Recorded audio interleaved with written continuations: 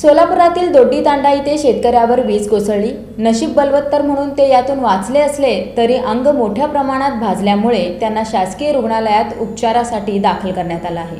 सोलापूर शहर परिसरात शुक्रवारी दमदार पावसानं हजेरी लावली. यामध्ये दोड्डी तांडातील शंकर तुळशीराम राठोड वय वर्ष एकोणसत्तर या शेतकऱ्यावर वीज कोसळल्याची घटना घडली. शंकर राठोड हे दोड्डी गावातील परिसरात शेळ्या घेऊन उभे होते. काही काळण्याच्या आतच अचानक वातावरणात बदल होऊन विजांचा कडकडाट सुरू झाला आणि ही वीज थेट शंकर राठोड यांच्या शरीरावर पडली. नशीब बलवत्तर म्हणून ते थोडक्यात वाचले.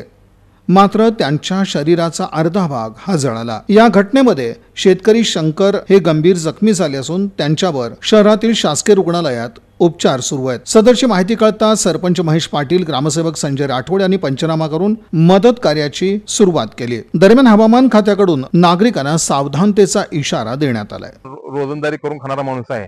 लोकांच्या कामाला गेल्यानंतर तिथं घरी परत असताना एकदम अचानक वार सुट्ट्यांचं घरी परत असताना अंगावर वीज कोसळली आहे. कोसळल्यामुळे तिथं भरपूर नुकसान म्हणजे त्यांचं अर्धा भाग शरीर जळालेला आहे. तरी शासनाने विनंती हा गोर मजूर आहे. त्याच्या परिस्थिती हालाकीची आहे. श- शासनाने तहसीलदार साहेबांना सर्व त्यांना आम्ही कळवलेलं आहे. शासनाला एवढीच विनंती आहे की त्यांना लवकरात लवकर शासकीय मदत मिळावी.